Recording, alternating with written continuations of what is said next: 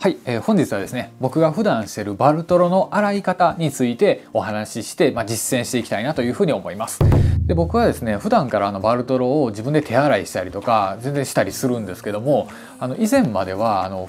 ダウンジャケットって洗うのどうなんやろなとかって思っててあのよく知識のないまま洗ったりしてめちゃくちゃ背中に穴開けたりとかしたことあったんですけどもまあちゃんと分かってればここは気ぃつけとかなあかんここはしっかりやっとかなあかんっていうのが分かったりしてたんで、まあ、あくまで自分のやり方なんですけど、まあ、そこのお話をしていきたいなというふうに思います。で僕はですねそのよく洗うんですけども春になったら必ずクリーニングには出してでそこから夏場はずっと寝かせてまた9月10月から着出したらちょくちょく洗っていくっていう感じで月に1回ぐらい自分で手洗いするっていう感じになってるんですけどダウンジャケットにおいて一番ダメなことっていうのは洗わないこと。もうこれが一番劣化につながるのでダメなんですけどやっぱりダウンジャケットってナイロンなんでこう顔とかの皮脂ってめちゃくちゃついて汚れがやっぱついてほったらかすと取れないのでできるだけ早く洗ったりした方が清潔に着れるっていうことで服って基本的に洗濯いっぱいすると思うんですけどジャケットはこれ半年間洗わへんとかで皮脂この辺溜まりまくってるって結構あったりするので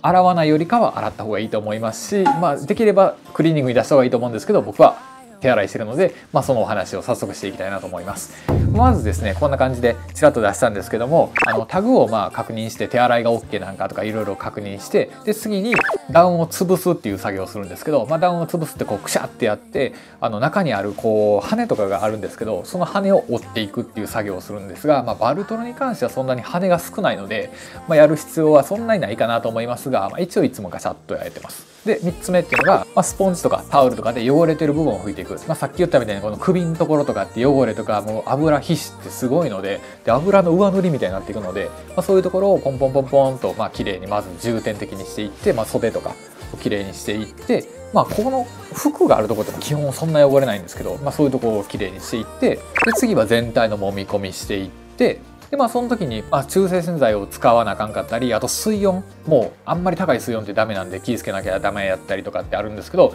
まあ、それ揉み込んでいってそのびっくりするぐらいペタンコになってもうダウンがこんなペタンコになったら申し訳ないわっていうぐらいペタンコになるんですけど、まあ、ペタンコになってから、まあ、乾か脱水して乾かしていくっていう作業になってるので、まあ、その辺を、あのまあ、ちょっと注意点も交えながらお話していきたいなというふうに思います。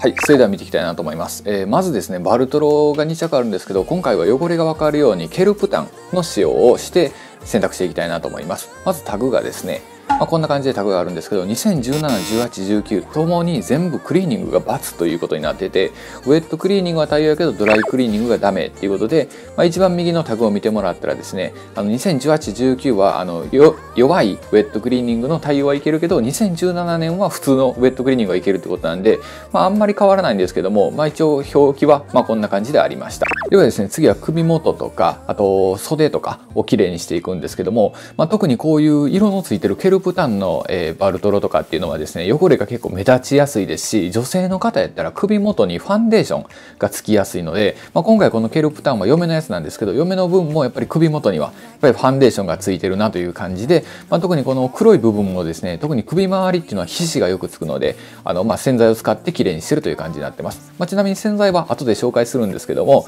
まあ、スポンジをまあこういうふうにあのきれいスポンジを使ってですね、きれいにしていくっていう感じなんですが、まあ、後にも出てきますよように、あのスポンジはできるだけ柔らかいあのスポンジを使う方がまあ個人的にはおすすめで、やっぱり硬いやつだと生地を傷める可能性があるので、まあ、できるだけ柔らかい方がいいんじゃないかなと僕は思って柔らかいのでやってます。で、ポイントはですね、生地はあの浮かせるような感じで、汚れは浮かせるような感じで洗っていく。で、これがあのダウンクリーナーなんですけど、まあ、これを選んだ理由はあの Amazon レビューの評価が高かったからあの使ったってことで、一応コあのキャップ1杯分を風呂の中に入れて混ぜていくという感じで手洗いを僕はいつもしてます。でこれはですね一応水温は40度以下っていうことやったんで今回は38度に設定して、まあ、できるだけあったかい方があのやっぱり汚れって落ちやすいので特に油汚れって落ちやすいので、まあ、できるだけあったかい温度で、えー手洗いをしてるという感じになってます。で特にですねこのバルトロは撥水加工されているので、まあ、なかなかこう水が中に浸透しにくいんですけども、まあ、根気強くあのしっかりあのダウンの中まであの洗剤をつけていくっていう風にしないと特にダウンの中にはですねタバコの匂いとか居酒屋の匂いとかっていう匂いがあのこびりついてる可能性があるので、まあ、しっかり中まで洗っていく。でつけ置きをしていくということで、まあ、人によってはなかなか洗ってない人は2時間ぐらいつけ置きした方がいいとは思うんですけど、まあ、今回20分やって、まあ、ビフォーアフターでそんなに違いはないと思うんで、まあ、よく頻繁に洗ってるので、まあ、そんな汚いってことはないと思うんですけど、まあ、こんな感じでやっています。で特に重要なのはですねこのすすぎ左上にもあの星がついてると思うんですけどこのすすぎをきれいにしとかないと、まあ、洗剤が残った状態になってくるとですね撥水効果とかもどんどんなくなってきますし放出性もなくなるのでとにかくこのすすぎは大事ということになってるので、まあ、僕の場合で言ったらこうやって手でやるのもそうなんですけどあの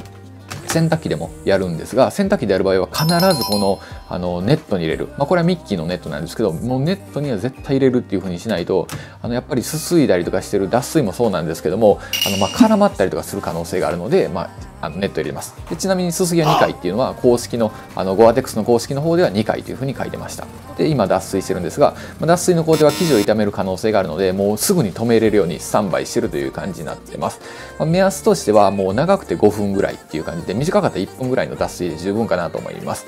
で、まあ、ネットに必ず入れて脱水する。もちろんチップとか、えー、とベルクロも全部閉めた状態で脱水してます。で次はですねあの日陰で干していくんですけども、まあ、この工程も結構重要で、まあ、こんな感じでペタンコに思ってるよりペタンコになるので、まあ、まずあの軽く振ってあのダウンを散らすんですけど、まあ、この時の注意点としてはペタンコやからどうしてもダウンを引きちぎったりしてあの伸ばそうとするんですけどそれをしちゃうとダウンの塊がなくなっちゃうので、極力引きちぎったりはしない。いう感じになって、まあ、極力このあ極力がつきますね、まあ、この干す時にできればこういう平たく干すニットの干すやつがいいんですけど、まあ、それがうちにはないので、まあ、こういう感じで独特な干し方をするんですが、まあ、ハンガーを二刀流にしてあのやっていくんですけども極力、ま平坦っていうか平行になるようにあのかけるっていうのは僕意識してやってます。やっぱ一部分にあのちょっと重心がかかったりするとダウンが偏ったりするのでダウンの偏りをなくすために平行にかけてるという感じになっててこういう細いハンガーっていうのはやっぱり肩の部分っていうのがあのダウンがなくなっちゃうんですよね。ぺちゃんこになっちゃうので。極力僕はこれはあんま使わないようにして、まあ、丸いハンガーとかもしくはさっきみたいに平たく置いて干してるという感じになってます。で次はですね撥水加工をするんですが撥水スプレー今回使用するんですがあの洗剤もあるんですけど洗剤の方はですねちょっとダウンなのでやめといた方がいいかなということでスプレーでやるという感じになってます。でこのスプレーをまんべんなく振っていくんですがやっぱ匂いがちょっとボンド臭がするので、まあ、そこだけはちょっとあのご勘弁なんですけどボンド臭がしますが、まあ、振っていくと。いう感じになってこういうふうに振りすぎたらちょっと白くなるんですが、まあ、これはタオルできれいに拭き取っていけば問題ないということになっているのであんまかけすぎないように。でかけすぎた際はタオルで拭き取るという感じで撥水加工はこれで OK です。で2日間ぐらい完全にきれいになるまで、えー、干していって次は、えー、乾燥機なんですがこのウィルソンのボールテニスボールっていうのは、まあ、別にこれ100均でも何でもいいんですけど一応ウィルソンの、まあ、新品のボールの方がいいんですが、まあ、この後意味はわかるんですけど乾燥機にガス乾燥機にあのダウンを掘り込むんですけどもその際にこのテニスボールも一緒に入れる、まあ、僕の場合3つ入れてるんですけど、まあ、これなんでテニスボール入れるんかっていうのが、まあ後になったら分かるんですが、まあ、テニスボールも入れて乾燥機に入れていくと。で、まあ、実際回し出すとですねテニスボールとダウンが一緒にこう回るんですよね。ほんならテニスボールがダウンにポンポン当たって綺麗に偏ったダウンっていうのを弾いてくれてまんべんなくダウンを平たくこんな感じですね。テニスボールも一緒に回ってるのでダウンジャケットに当たって綺麗にダウンを弾いてくれてまんべんなく均等にしてくれるのであえてテニスボールを入れてます、まあ、できればこれは綺麗なあのボール入れた方が汚れとかが目立つので、まあ、新品のボールの方がいいと思うんですが別にウィルソンじゃなくても、まあ、100均でも売ってますがはいあのウィルソンのボールを使ってます。っていう感じで、まあ、出来上がったこんな感じで結構ふっくらしてる仕上がりになってるかなというふうに思いますので、まあ、これが一応完成形ということになって、まあ、しっかりボールも忘れないように持って帰りましょうということではいということで仕上がったのがこちらのダウンになってるんですけどもう見た感じから結構ふっくらしてる感じなんですが、まあ、実際洗濯前と洗濯後ではどれぐらいふっくら感が違うかっていうのはあのありますのでそれを見てもらいたいなと思います。ではどれぐらいダウンの膨らみが戻ったかってことなんですけどまあこれがあの選択後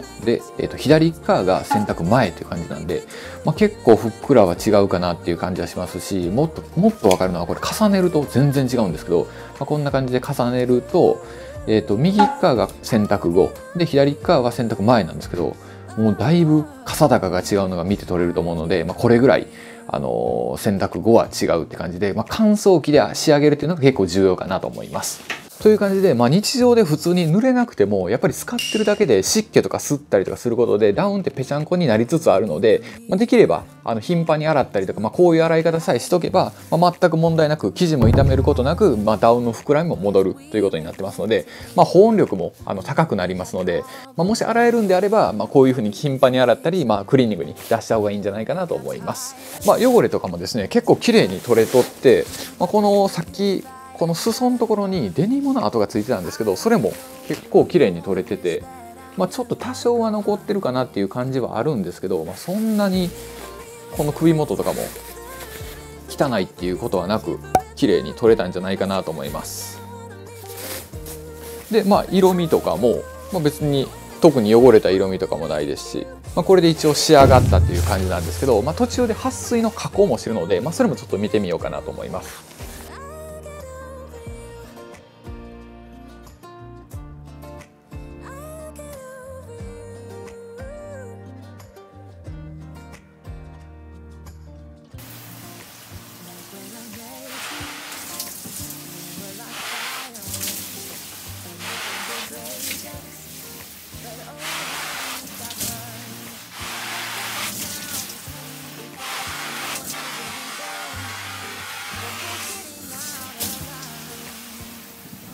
という感じでですね、まあ、撥水も結構綺麗に入ってる感じなんで、まあ、さっき言ったみたいにこの撥水スプレーってスプレータイプも洗剤タイプも結構ボンド臭がするんですが乾いて匂ってみると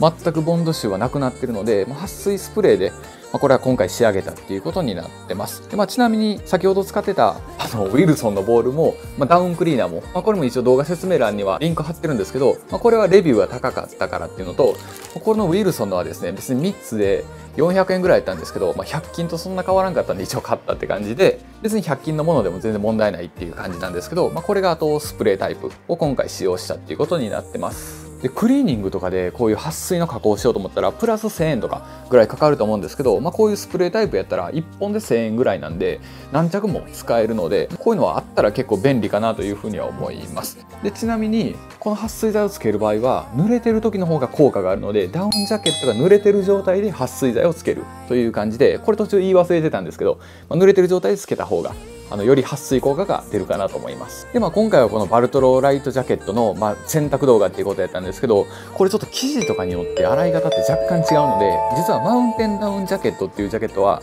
あの、まあ、これ重要なんですけど全然洗い方がまたあの注意点が異なるのでまたそれは別で出そうと思ってますので、まあ、今回はバルトロライトジャケットであれば、まあ、さっきみたいな僕の洗い方で洗えば、まあ、こんな感じであの、まあ、仕上がりましたという動画になってます。でまあ動画内でも言ってるんですがやっぱりあのちょっと早口だったんでもう一回言っとくんですけども脱水とかで洗濯機に入れる際はもう必ずチャックとか全部閉めてネットに入れるっていうのをもう徹底しとかないとやっぱり遠心力で袖とかが絡まって破れたり生地をこう傷めたりする恐れっていうのがあるので、まあ、必ず僕はネットに入れるようにしてるのでもし洗濯される方は、まあ、ご自身の自己責任でやっていただけたらいいかなというふうには思います。はい。ということでですね、まあ、本日はバルトロライトジャケットを手洗いしてみたという動画になってます。以上、ありがとうございました。